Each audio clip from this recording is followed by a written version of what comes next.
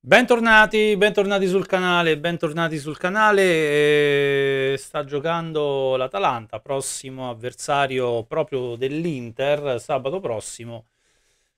Bergamaschi sono avanti a Empoli 2 a 0, 2 a 0 con i gol di Scamacca e Cop Mainers, quindi eh, un'Atalanta sicuramente in salute. Peraltro a Bergamo tanto va vicino addirittura al terzo gol. Intanto vi ricordo che a Bergamo c'è una statistica, ci sarà una statistica molto curiosa. Si affronteranno sabato le due squadre con l'Atalanta che non ancora è l'unica a non, aver, a non aver ancora preso gol in casa. E invece l'Inter che è l'unica a non aver ancora preso gol in trasferta. Sembra uno scioglilingua eh, è così perché c'è 0 nella casella dell'Atalanta nei gol subiti in casa e 0 nella casella dell'Inter nei gol subiti in trasferta. Quindi vedremo se si continuerà uh, con questo andazzo. L'unica è, è lo 0-0, poi altrimenti uno dei due salta. Magari saltano tutti e due. Tornando invece a Inter-Roma, facendo un passo indietro, volevo chiudere un po' questo capitolo per poi proiettarci al, altri, altri fatti, forse anche più interessanti, con la questione Romelu Lukaku, perché oggi ne abbiamo, oddio oggi, sono ormai giorni che ne, che, che ne sentivamo di ogni, si raccontava di ogni, si stanno facendo narrazioni di ogni e è corretto secondo me da parte mia mettere anche un punto. Allora, su quello che è stata la, la prestazione a livello eh, tecnico-tattico dell'ex centravanti dell'Inter. L'abbiamo detto, l'abbiamo visto tutti, l'abbiamo analizzata ieri, ai limiti dello sceno, secondo me molto per colpa di una squadra scesa in campo per lo 0-0 facendo barricate e, e, difendendo pure male, perché se, se, è vero che eri scesi in campo per quell'obiettivo e dopo 15 minuti l'Inter aveva già avuto tre palle gol attraverso Cialanolu, il tiro ravvicinato di Thuram e l'esterno sinistro a fil di pali di Di Marco, qualcosa non, non è che... Era, evidentemente qualcosa non era stato registrato nel migliore dei modi. Però su Lukaku, allora si era fatta una gran cagnara, si era parlato addirittura di possibile sospensione della partita per molestia acustica. Cioè, rendetevi conto, ragazzi. Non più tardi di, di 7-8 giorni fa, in Torino-Inter, dopo l'infortunio in Schurz, eh, Barella fino al cambio era stato subissato dai fischi dai tifosi Granata. No? Ogni tocco palla, giù fischi. Una cosa che si ripete un, un, su tanti campi non ho mai sentito a nessuno parlare di sospensione della partita. Poi, ripeto, da casa pure quei fischietti si sono sentiti pure poco. Cioè. Al di là del fatto che Lukaku abbia preso pochissime volte il pallone, ma si sono sentiti veramente poco. Poi c'è qualcuno, come ad esempio sul Corriere Sport, che dal nulla se ne è uscito con Lukaku eh, non ha dato il 5 nel saluto ad Acerbi e, e, e di rimando non lo ha ottenuto da Barella. Così.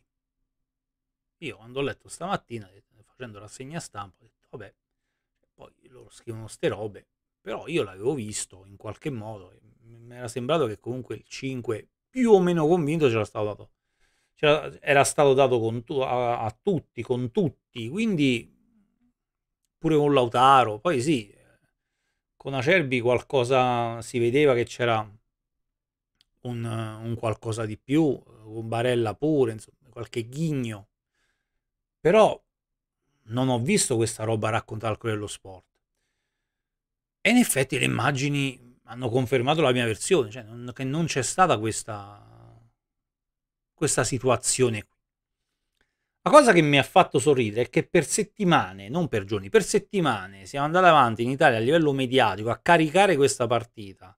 Come l'Inter tutta dai tifosi all'ultimo dei raccattapalle contro Lukaku si preparava il clima dell'odio, si preparava attenzione ai burazzisti, non, come se si volesse trovare il più piccolo appiglio andando a scandagliare il più piccolo frame per in qualche modo penalizzare l'Inter.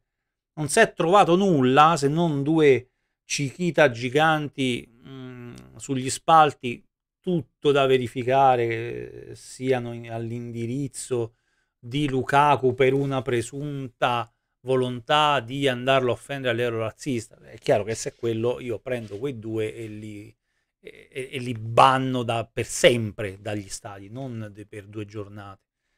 Però per il resto, tutto questo clima d'odio, ho visto dei fischi nemmeno così assordanti, anzi c'era un fischio antipatico che partiva proprio dalla tribuna e secondo me era di qualche tifoso della Roma infiltrato perché ogni qualvolta l'Inter andava in attacco, nei momenti clou si questo fischio come, andare, come, per andare a disturbare l'azione offensiva dell'Inter.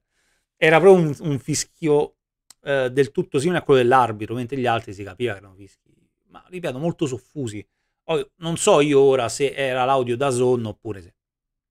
La cosa che mi ha fatto sorridere, ripeto, è che c'è stata tutta questa carica, tutta questa roba eh, l'attesa, la grande attesa, Lukaku che torna a San Siro, eh? Le squadre nel tunnel, si intravede Lukaku che un po' sorridacchia con Cialanolu, un po' con Mkhitaryan, sul resto il nulla, Cerbi che si volta, nessuno lo incrocia lo sguardo, mezzogiorno di fuoco, sembrava, se mancava solo la colonna sonora di di, dei film, no? Di... Beh, non mi viene nemmeno un nome, abbiate, abbiate pazienza. Sergio Leone, Ennio Morricone, eh, meno male, non faceva pure una figuraccia. Entrano le squadre in campo, premium spot. Ma come premium spot? Ma fammi vedere l'ingresso in campo e quando entra, no? E tutto il pubblico doveva fare l'inferno così alle parti mie l'inverno appicciato su premium, no, su premium spot. Rientrano che praticamente 4, 3, 4 ne fanno, non uno, 3, 4 di fila, rientrano che praticamente l'inno della serie è finito. Vabbè, adesso ci sarà il famoso, la, la, la, la famosa carrellata no? di quando quando c'è il Batti 5 con Lukaku, le telecamere sicuramente seguiranno Lukaku, no? E no, No, invece le telecamere di sfuggita vanno sulla destra, Lukaku va sulla sinistra e tu devi seguirlo lì con gli occhi, non si capisce praticamente niente. Poi perché uno invece, perché per fortuna ci sono anche eh, gli amatori, gli amatoriali che dalle tribune registrano e allora tu eh, sei lì magari e ti vedi il video e capisci poi quello che è successo.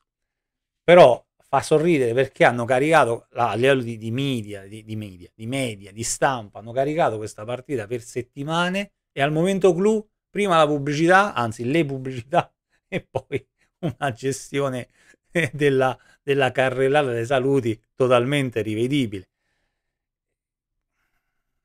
Voglio dire, eh, tornando al discorso anche dei, dei, degli zoom selvaggi quando non è il caso di farli perché c'è un'azione pericolosa, a, alle inquadrature sugli spalti, della gente che si scaccola eh, o, si, o, si, sbaciucchia, che non è il caso perché l'azione è in movimento, la palla è in movimento, o hai focus sugli, sulle panchine, sui tecnici, e non è il caso perché si sta giocando, o hai replay un'azione magari di tre minuti prima e ti ritrovi nell'altra area, dici come è successo, boh, non si è capito niente.